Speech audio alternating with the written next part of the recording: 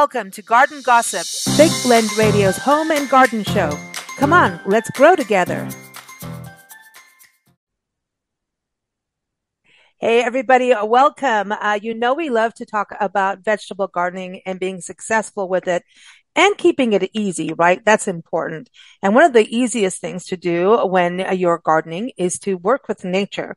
Because nature, if you do that, and follow her principles, you're going to have an easier garden to maintain and work with. And then you're also working with nature. So, you know, you're also feeding birds and you're creating a ecosystem, which we love. That's a good thing about gardening, especially with your family, um, maybe even having a backyard habitat. And today I'm excited because we have Christina Chung joining us. Uh, go to her, uh, follow her on Instagram at fluent.garden but her new book is coming out through Cool Springs Press. Uh, that is going to be out February 6th, so you can probably pre-order it right now.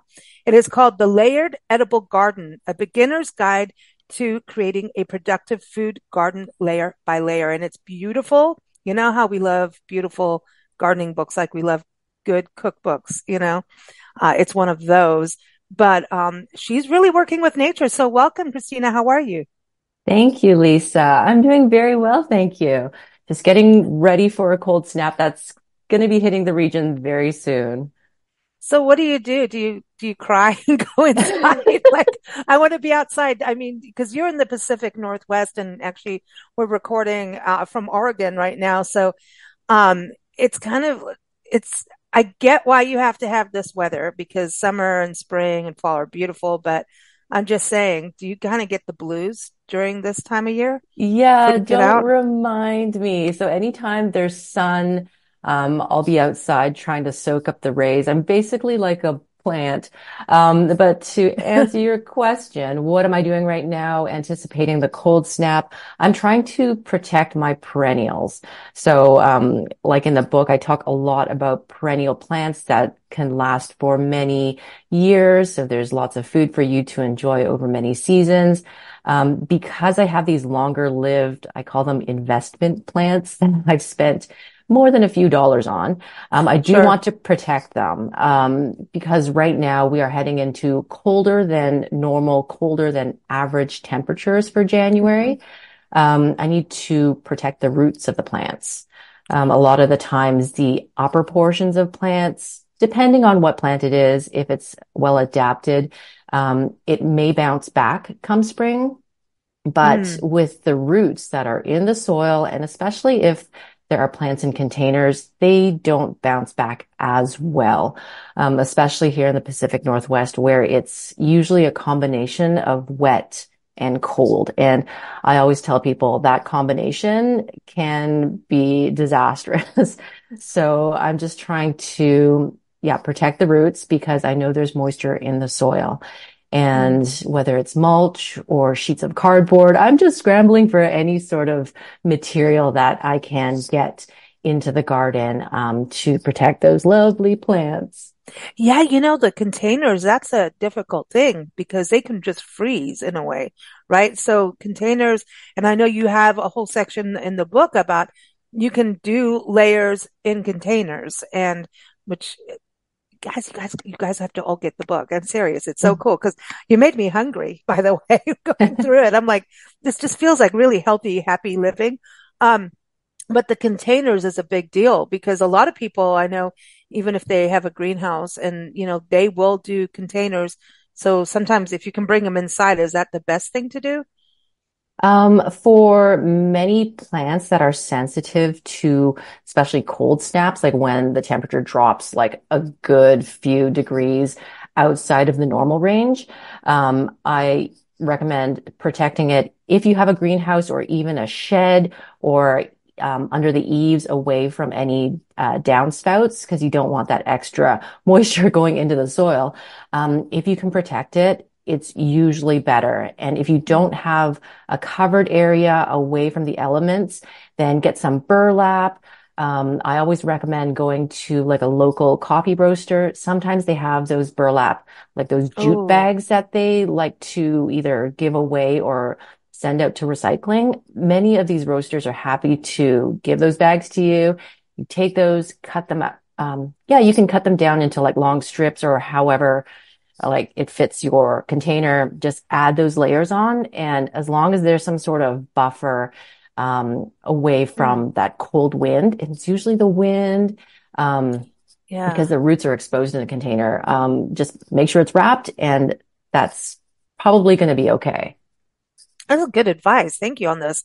I think the wind is mean. That you know, you can mm-hmm. have a mm-hmm. cold day, but when the wind is in, in part of it, it's it's cruel. Like yeah, yeah. cruel wind is cruel wind. You know, yeah. I I always wonder about vineyards. You know, this time of year, it's like okay, the you know the the vines pretty much they they hibernate like bears. You know, and um, but that that's part of the layers, and I want to get into that uh, you've got these eight different layers that you mm-hmm. talk about. And, and to me, the way you garden is how I was raised more in a warmer climate, especially living in Kenya. We had the equator, which was, you know, pretty good growing conditions for a lot of things. uh, we did get monsoon rains though. So that was, you know, interesting. Um, but you talk about eight layers and just being a nature person, to me, the way you're growing and how I introduced you on the show was talking about you are working with nature. And I believe that when we work with nature, you don't need as many pesticides and things like that. You are letting the ecosystem be what it's supposed to be. So with the way you grow with these layered and working up it is it reminds me of how a forest works where your berries will be part way up and you know there's just these different layers and that's even how animals feed according to layers different species and different layers per species you know mm-hmm, so mm-hmm. Yeah is this a nature thing for you like doing the layers? I think yes yes. In short yes. And i remember when i was in horticulture school my instructor um, always encouraged us to take inspiration from nature. So if you are designing a garden, let's say it's an just an ornamental garden or food garden or a mix of, you know, both types of plants, which is what I like to do. You mm. kind of look at how plants are spaced and how they are naturally like grouped together in nature. It looks natural to our you know, the, the lizard brain that we have, like it kind of speaks to that. And you go, that feels very natural. It feels very comfortable. And then if you get to travel, I'm sure, Lisa, when you travel the world, you see these mm-hmm. different clusters of plants. And mm-hmm. you're like, wow, that's very interesting how you see like a big lush layer of one type of plant and then like, let's say a big tree in the middle. And then like, what is the interaction? Like, how are these lower plants benefiting from maybe the shade of that tree when it's hot, when it's cold, like how does that work? So with the book, I kind of try to break it down for the home gardener. How can we look at our surroundings and a appreciate what we already have because we don't want to be chopping down existing trees. Like this is not what I'm encouraging. Right. Um, it's more about like for me, when I go outside, I see beautiful native Douglas firs and cedars. And these, these are our long lived native trees and they serve the wildlife here and they have a mm-hmm. purpose. There's a history and I appreciate that. I'm grateful to be able to have these around my garden. But because they are so tall, they cast shade into parts of the garden. And what can I do about that? I mean, I could add supplemental light, but that's a lot of work. I know that the sun's going to be coming in a certain way. So for me, it's like, okay, let's talk about how to observe how the sun comes in, how it lands on our garden beds, mm-hmm. and then plant the appropriate plants where the sun lands, or maybe it, or where, maybe where it's heavily shaded. Let's see what we can put there um, and not really fight it. And I think a lot of the times when people um, kind of have that understanding, it's more enjoyable and you are kind of encouraged by nature to explore more plants, more mm. than what is usually offered from your local nursery who is maybe bringing in sort of like the tried and true of all of North America as opposed to what may do best where you live. Well, you also bring up, and I want to get to the eight layers so people understand this. And, and I think what's also brilliant is many people are not, they don't have huge yards anymore.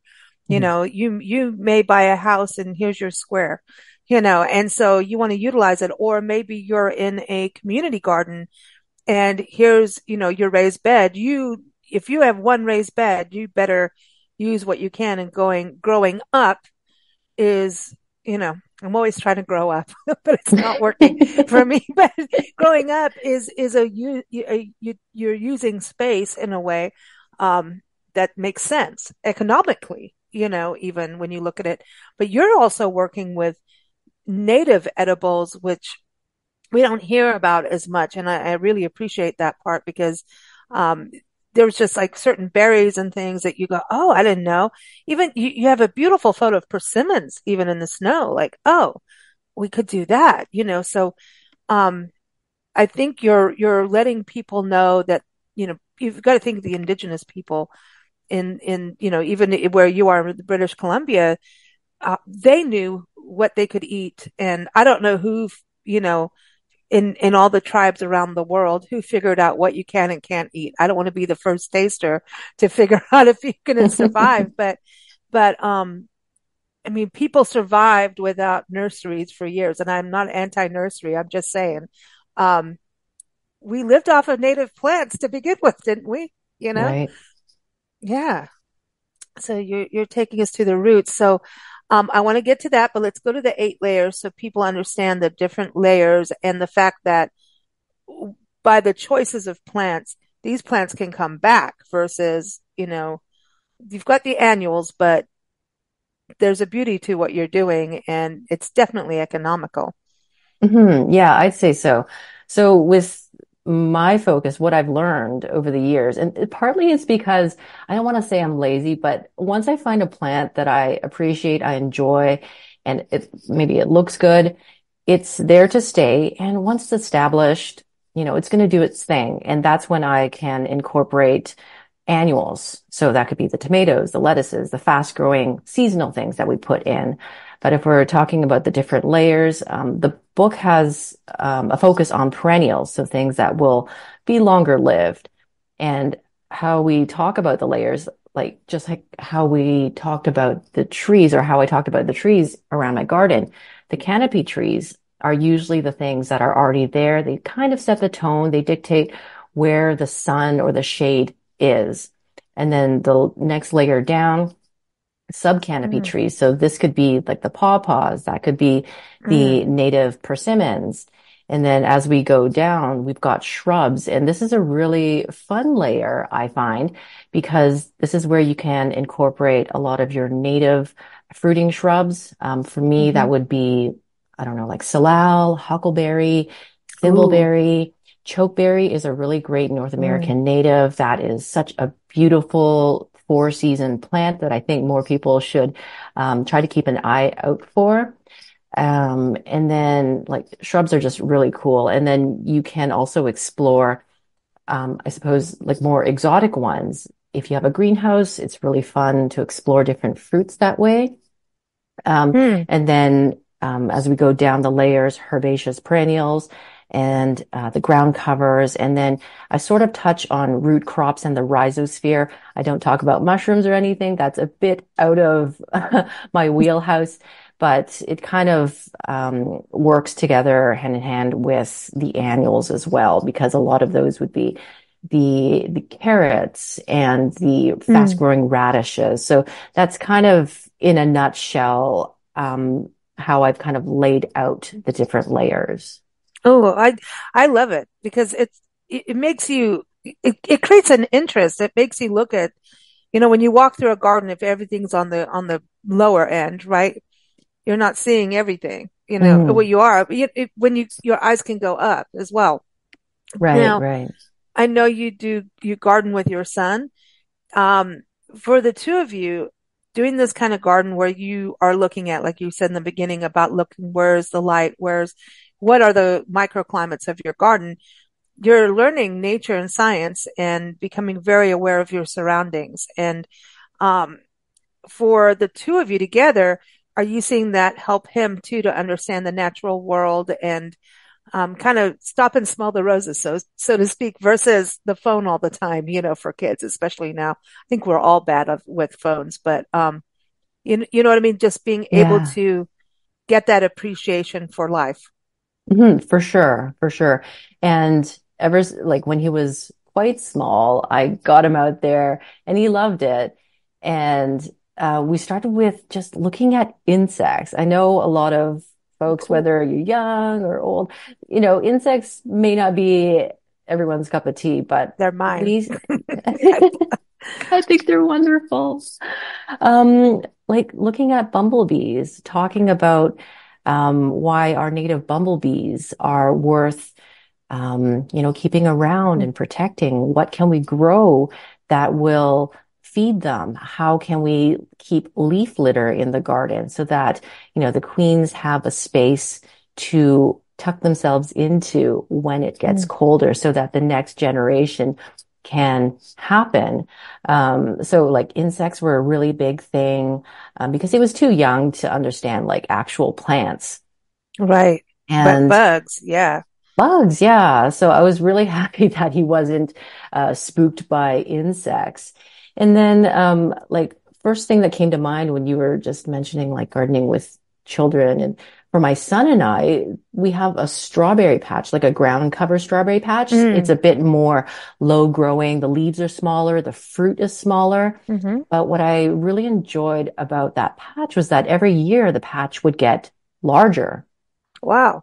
Yeah, it would get larger and spread. So it's actually one of my favorite ground cover plants that just comes back every year and it hmm. produces these itty bitty small, I think we have the alpine strawberries growing. So the fruit is like smaller than the tip of like the yeah. pinky and the flavor is so intense. It's unlike the store bought strawberries and they just do their thing and they look so sweet when the flowers are in bloom. We see the insects interacting with the flowers and then the fun part is just lifting a leaf and picking off um, berries.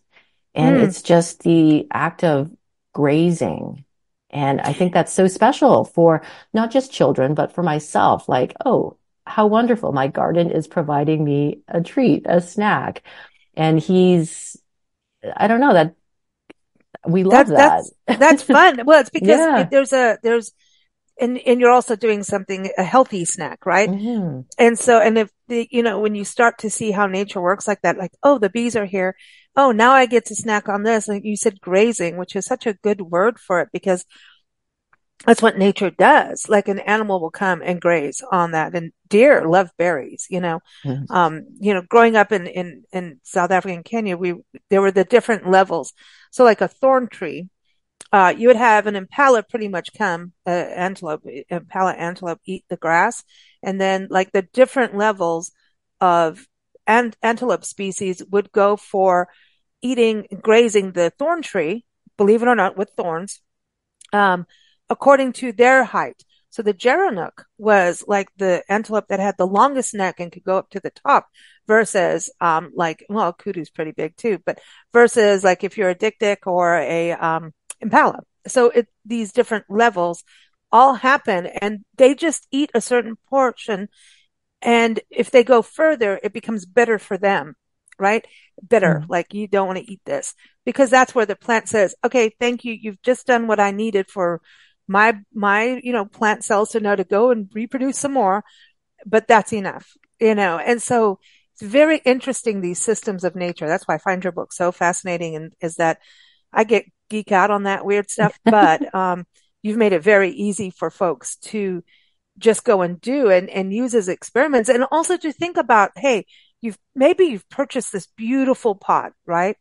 Um, you just a ceramic pot kind of pot, right? I gotta be mm-hmm. careful. We're on a growing show, but you know, I've got this beautiful, I've invested in this beautiful artistic pot, right? Uh, uh, decor wise. And what, why would you just put pansies in there if you can actually do flowers that are also like nasturtiums? Like, I think nasturtiums are so underrated. I think they're, we used to eat, get the nectar. We used to eat them in salads. And then there's like little capery things that you can get yes. off of them as yes. kids. Like they were like oh, and then you'd hear people talk about the Mediterranean. I'm like, I got it in my backyard.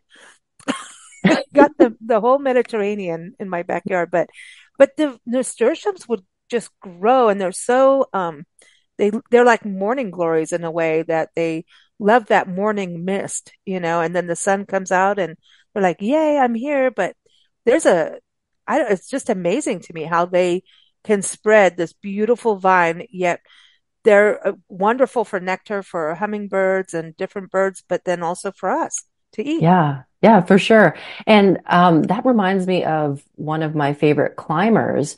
Um, to really get that height. So we were talking about, you know, especially actually, especially if you're growing in a large container and you want some height, whether you are wanting to block out um, your like a view of your neighbor's garbage can, or if you yeah. want a privacy screen. Um, one of my favorite plants to grow, and it grows so fast, is the scarlet runner bean. Oh, so yes. it's like a it's like a pole bean, but it's a different species, and it produces big, large edible pods. But um, it has these beautiful, I guess, like crimson kind of mm-hmm. like orangey coral flowers that the hummingbirds love. So I grow that mostly for the flowers and the foliage, uh, not so much the beans. You really got to cook them down, um, especially when they get tough. But you know, you know, if you want like a container that's tall and beautiful and lush, and if you set up three next to each other, grow a wall of beans, and then you can have trailing nasturtiums, and it's like from top to wow. bottom these beautiful trailing leaves and then flowers for hummingbirds. And then in between, maybe you have like a perennial, um, like a, like a shrub, like a fruiting shrub, whether it's blueberries or something that likes the conditions that both the nasturtiums and the beans like. I mean, it's really fun to create something that's beautiful, just full of color and food. Yeah. Yeah. You know, um, we, you know, as many people know, Nancy and I pets it as we travel. It's not a, it's, it's not a profession for us. It's, it's a kind of house swapping thing, right? And it's really cool because we end up gardening in different climates and zones across the country. I love it. And I mean, the principles are the same, but you have to learn. It's like you get there the first night and you're like, you better learn what time the sun rises. You better, you're in a different time zone um, all of that. But one of our, our favorite sets uh, is out in Arkansas, up in the mountains, Fayetteville. And the lady we, we've sat for, and she has a donkey. So it's really cool. She has her own manure. uh, but anyway, that's amazing. donkey. No, it's cool because she let, but so she purchased this farm property. And so in the middle is this old farmhouse that she redid herself. Like, so props to her for that. Um, it's just I love to see women go out there and get get in it, you know, and mm-hmm, that we mm-hmm. can we you know we can do it. And she left both sides, each each side like there's a huge meadow. Let it go to native plants, and there's in the middle of it all day lilies because there's a lot of seed spreaders going on in Arkansas. It is the natural state, and it's hot and swampy and warm, and it is hot in summer, and that's uh, when we always are there in the summer. But um, the, I mean, it's just beautiful to see. And at night, the fireflies, just giant oak tree. Mm. You're not even allowed to park your car near the oak tree because she wants to protect the roots of the oak. It's this ancient oak tree. Like, it's got a few of them. And then she grows all these interesting vegetables, and one of them was the scarlet beans. And that's my first time. They're long, man. These things are long. yeah. I was like going, what are these? And she's like, okay, every day I had to go out and try not to let it like actually start to attach to her house because they will attach. And they're vigorous. they're they're like wisteria in that way. But it was so cool and they um had all kinds of caterpillars that would come and hang out and um, frogs, tree frogs that were hanging out on them. That was the biggest thing. She had this ecosystem of what was happening. And if you just let it be, except for the squash bugs, I don't want to talk about those. They, um, they, but the, a lightning bolt took out the squash plant that had the squash bugs. Seriously. Oh. Oh. Took it out. They have blanket, uh, lightning, like just, I, I can't even explain the amount of lightning they get there, oh, wow. but they it's insane. It's like a curtain of lightning bolts that would happen in these storms. But there, her plants, except for that one, you know, survived. But she also grew, uh, she has her vegetables growing amongst the flowers.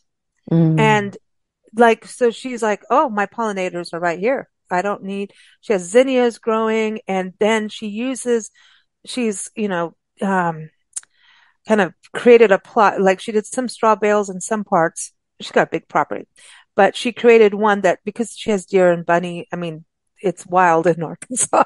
so you kind of want to corner off from the predators, right? Um, so she started doing all these crazy cool vines, these squash flowers. And I wish I could remember what it was, but it was, I mean, a loofah squash or something, like a loofah or something. Those oh my fun. gosh. it was like we'd go out to go look every day to see what was blooming and what was going on, but her garden thrived, man. She also used like tomatoes. I've seen people do that where tomatoes are kind of one of those depending on where you are, but that can be part of that layer, right? Tomato plants mm-hmm, because mm-hmm. they kind of are like mini trees in a way. They're delicate though, but not. They're tomatoes are weird.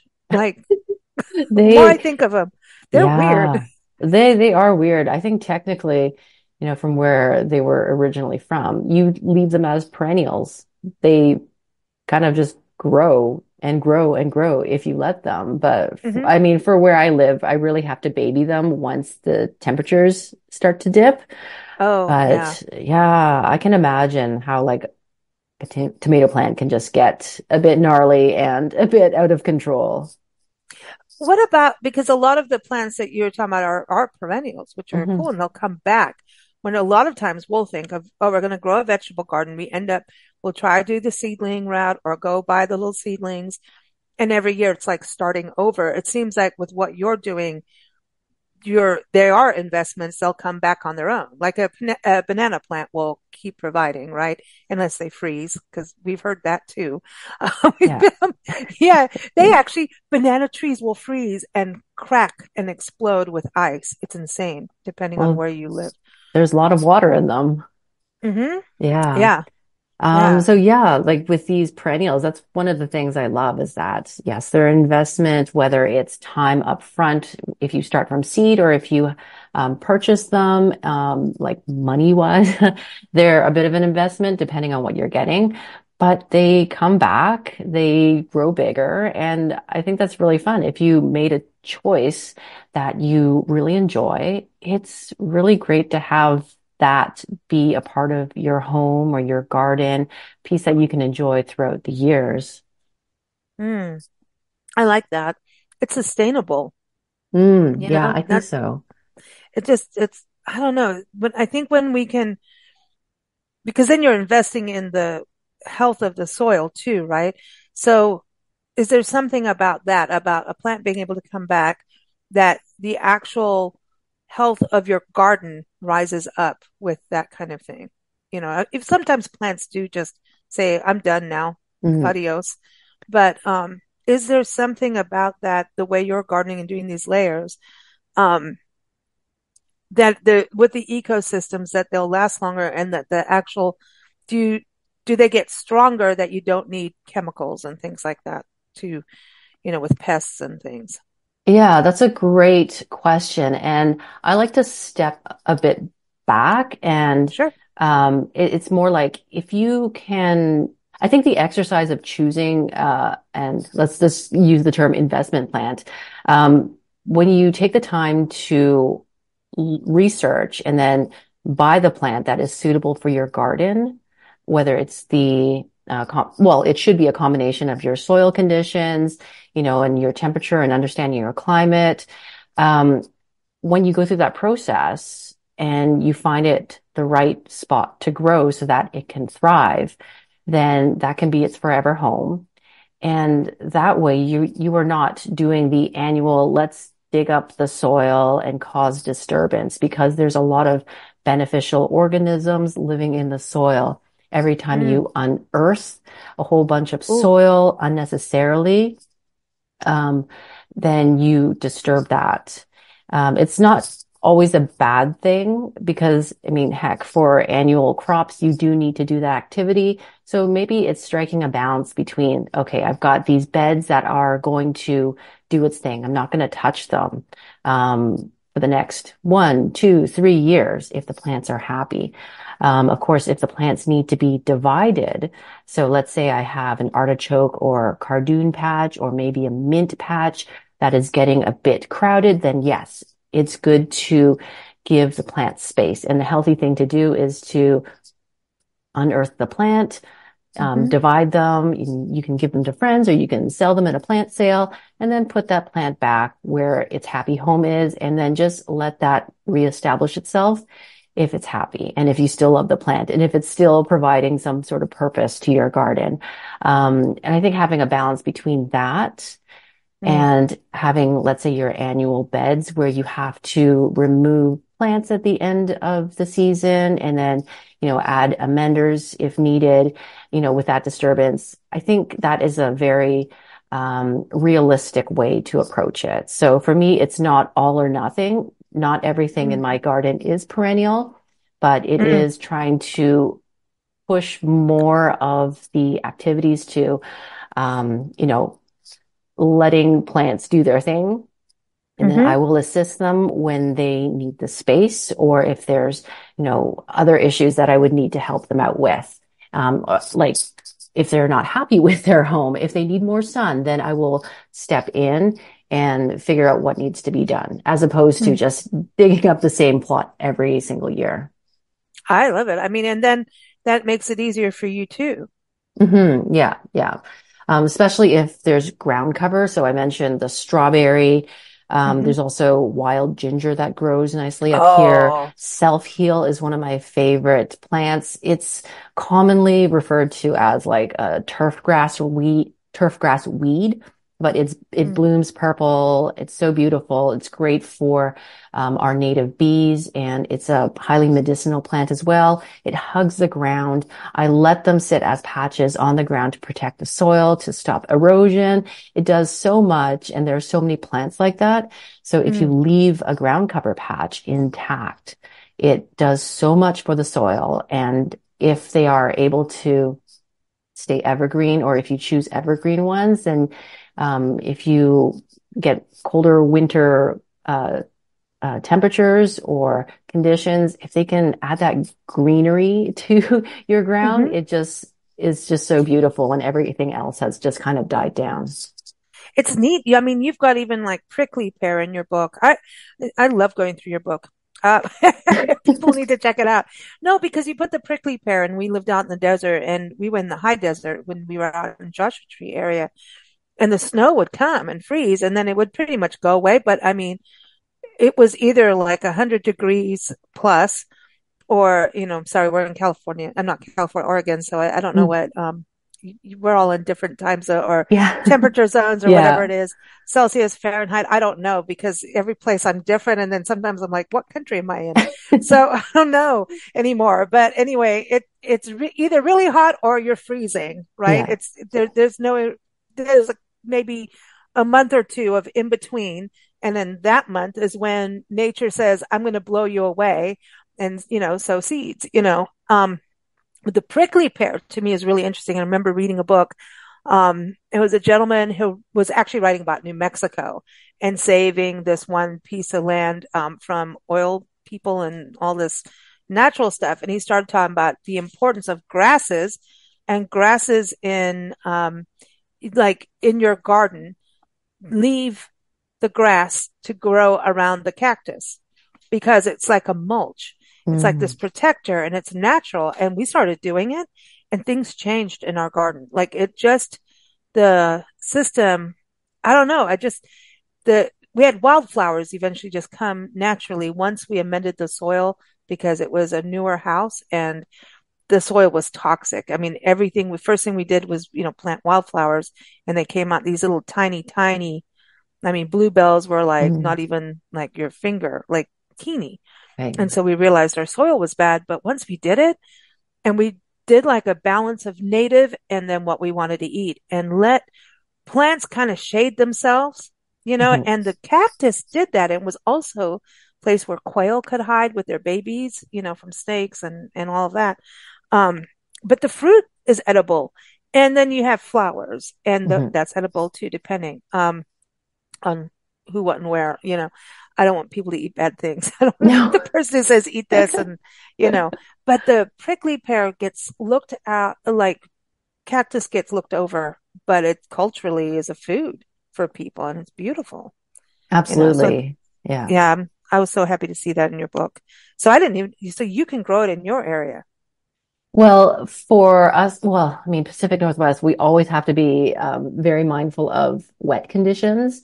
So mm-hmm. as long as there's maybe like a rock wall or like a gravelly area, um, where you don't have to worry about like anything underground rotting, I think that is, um, usually where we see these types of plants not do mm. well. Again, that moisture and cold combination. But, you know, if you can find, um, you know, well draining kind of soil or gravelly, then that's going to be a lot better. Well, your wild ginger is interesting to me because there's ginger that I know that grows all the way up with spikes and then like spiked flowers and everything. Mm. But your wild ginger in here reminds me of uh, miner's lettuce. When we lived up in the mountains, we had miner's lettuce that would grow kind of in a meadowy area, very low ground cover. And it was edible, which we didn't know until we lived there. And people were like, you know, mountain people. They're mm. like, you can eat your backyard. I'm like, really? Okay, let's try it. And honestly, it was like little lettuce and they had little white flowers in the center. I wonder if they're related. They look so alike. They do. Um, uh, yeah, they do look alike. And I love miner's lettuce. It's one of those crops that I always recommend people seeding. Like if you have a bed that you just don't want to touch and it gets you know, shade and you just want to throw something that's really interesting, miner's lettuce is wonderful. Um, wild ginger is, um, kind of serves the same purpose, but it's a longer lived plant. It's slower to establish, but I've seen them ornamentally under maple trees or, you know, uh, like small specimen trees in gardens that aren't necessarily interested in edible elements. Um, some folks just don't have that as a focus. But I've seen gardeners put wild ginger under trees and it's so beautiful because the leaves are interesting and kind of round mm-hmm. with this like upside down heart shape. And it's the rhizomes that have this, uh, you know, really neat edible quality. Uh, the flowers of these guys are not not showy at all. It's really interesting. You really have to get down on your knees, mm-hmm. flip over a leaf yep. and look for the little like brownish kind of maroon flowers. And I think that's really special. Like it's like a little secret that you have with a plant. It's like, I know what you have. I'm going to take a peek and then leave yeah, you alone. Uh, yeah, I know, right? It's like a whole other, yeah, the peeper creepers. that's what they are. That's what it is.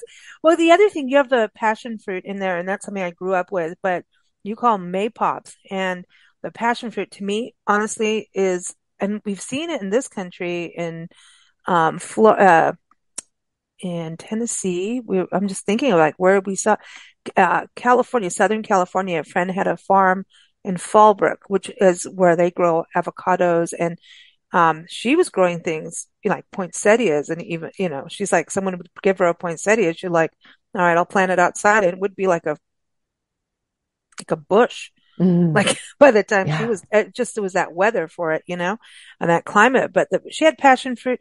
But we saw it also in Arkansas and a Native American garden, heritage, cultural heritage garden mm. for the mm. Plum Bayou people. And I was like, oh my gosh, I'm going to live in here.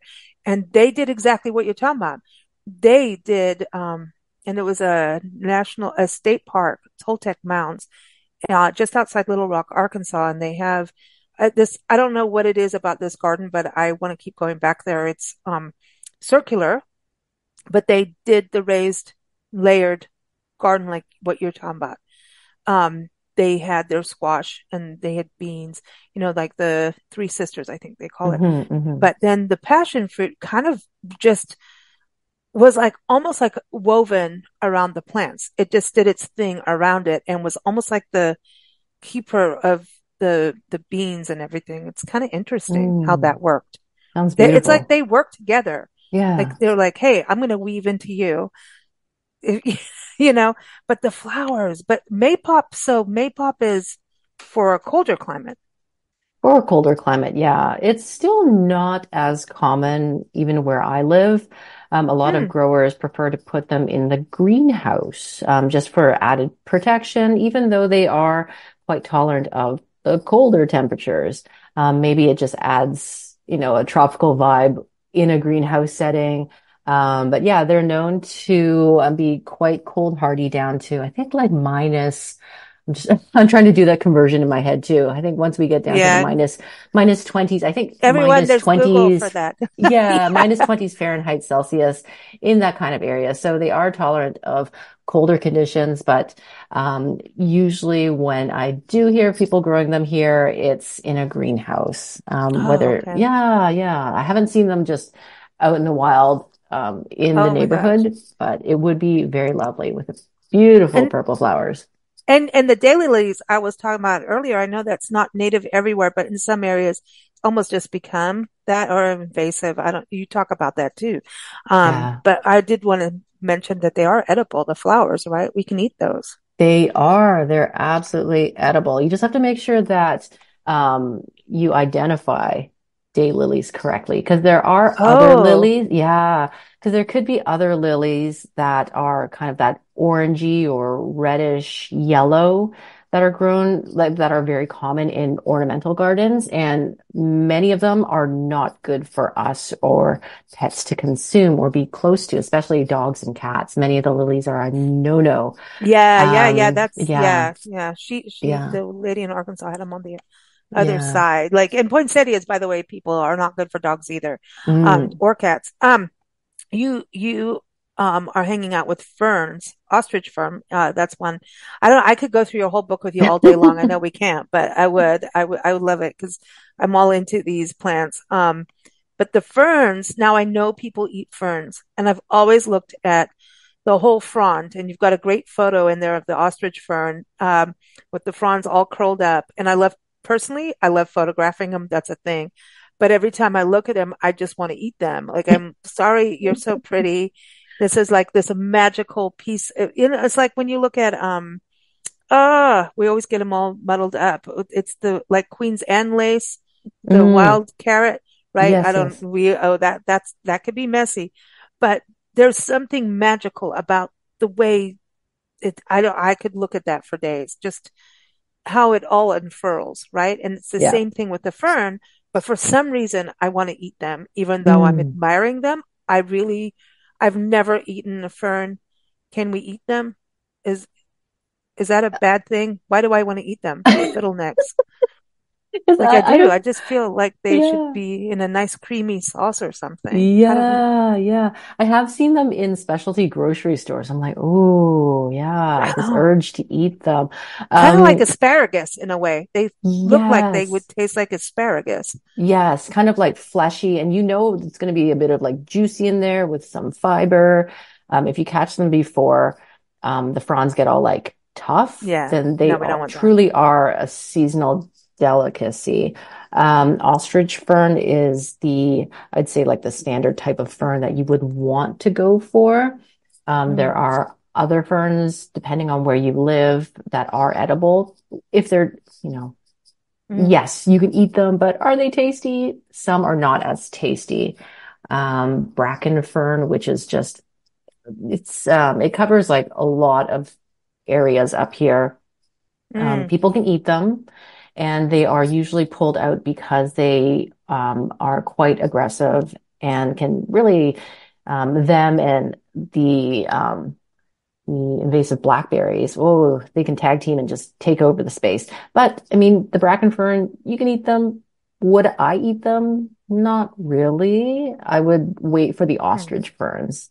And uh, the ostrich ferns, if you have the right conditions, they are beautiful for the garden. They do want the shade. They do want moisture. Um, but they're really great under trees or at back of an area along, maybe not along a fence, but like near like a shaded area. It just adds this beautiful green color, super soft, beautiful foliage. They can get quite big. So if you're looking to fill out a space, hey, you can have your own patch of um, fiddleheads. Oh, and yeah. then there's blueberries in your book which I find exciting because we've actually done um, video work with um, a nursery that cultivated them um, up in Washington State, and they did like the pink lemonade blueberries. Mm. Um, I don't know the name was Briggs. Um, I don't know it's you know anyway. it was amazing what they were doing with blueberries. But what really got me is hiking up in the Blue Ridge Mountains, um, in uh, Appalachia country. And we're on a hike with some friends and literally could just eat blueberries as we were walking by them. I'm going, really? When you find things that are native and you're going, you, you know, we go through extremes to get blueberries and things mm-hmm. like that to, to grow. So part of what excited me about your book with the blueberries in there and things, um, sometimes you can get these, like you you showcase that are native or do really well. And so you're not only feeding yourself, but you've created a wildlife habitat. I know a lot of people want certified wildlife habitats with the National Wildlife Federation out here. Mm-hmm. And I think it's a really cool thing if you are giving back in a way, because like if a bird's eating your berries, aren't they going to eat the bugs? So you don't have to do the pesticides. So and then we get to still watch the bug before they go bye bye, which is fun. yeah, yeah, like the full course of life here. Um, yeah. So I, I really appreciate that part of you know that you can have things like blueberries and even grapes, but maybe they're just not the same ones you're going to get in the store. Yeah, yeah. I mean, with grapes, um, especially like yes, you can get to experience different varieties and you can enjoy having your own mini vineyard or if you, yeah, mm-hmm. if you mm-hmm. make your own wines. Um, but with what you were saying with having this, this, whole little ecosystem, inviting the birds, having, you know, them take, um, take the role of, you know, pest management. And that's one of the beautiful things with having a variety. So a lot of the times as gardeners, we think about what's in it for me? What can I eat? What can I grow that beautifies my garden? But once mm. you step back again and go, okay, so my garden is a part of this bigger system. And you look around the, the forests, look around the neighborhood, you know, what, how is mm-hmm. nature in the form of like the wildlife, whether it's like insects, mm. birds, furry creatures that will um, yeah. come into your space? Like, how does this all knit oh. together? Oh. How do my interactions in what I would call my space, how does that affect these creatures? Can I provide them with a space for nesting? Can mm. I provide them with um, fruit that I may not necessarily eat, but I know that they're going to enjoy? How can I encourage them to, you know, feel at home here? So right mm. now, um, I grow service berries, and I think mm. uh, I think the birds almost also liked. Um, I have two goumi shrubs, mm. And the birds love those. They're not my favorite fruit to eat myself, but the mm. birds come, and I can hear them hopping along like under the hedges, and you know they're they're eating insects. They are uh, nesting, and they've got their young somewhere in the garden, and it's that's sort of like next level rewarding yeah, um, and it's not just about, fruit. Yeah, yeah, it's fruit, seeds, and nuts. Because you even go like you have the whole section on the hedgerow, right? Like here's yeah. your spoils of the hedgerow, and I'm like looking at this, going, that reminded me when we lived in England. I was like, I remember going getting crab apples and blackberry, like mm. again, layered up, right? That's how nature works. Yeah. You'd have the blackberries kind of at arm's length and then up you'd have the crab apples, you know, and we had chestnuts too. Like we'd play what was called knockers. And no, I don't mean that same thing as you think in England. don't. but, um, we would play with these chestnuts and it as kids and, but you could roast them and you, you know, it was amazing when I saw that in your book. I was like, she's going for the nuts too, like the filberts. And, yeah. you know, that's something no one touches on. We rarely hear about nuts and seeds like sunflower seeds. I know birds love that, but we can also take a little bit and give a little bit, right? Mm-hmm, mm-hmm. Definitely. Yeah. yeah.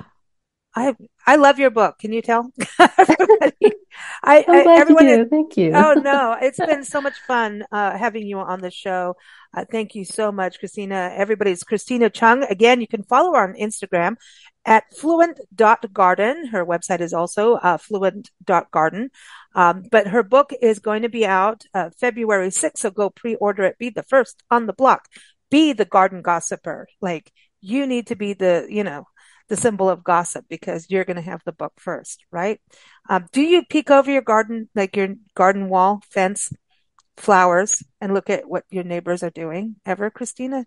Oh, actually, I have new neighbors um, right across like the back fence, and they are growing some amazing subtropical um, fruit. I think I spotted mango, um, no, maybe papaya. I'm not too sure. I haven't introduced myself to my neighbors.